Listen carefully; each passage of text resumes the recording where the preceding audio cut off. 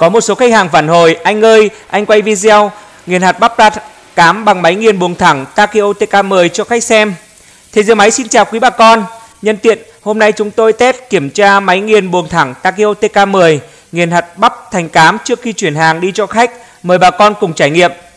Bắp là thức ăn đảm bảo đầy đủ dinh dưỡng cho ngành chăn nuôi. Hạt bắp có đầy đủ dinh dưỡng như protein thô, chất xơ, lipid, canxi, phosphor để cho gia súc gia cầm dễ dàng ăn hạt bắp được thì chúng ta phải nghiền từ hạt bắp thành dạng cám.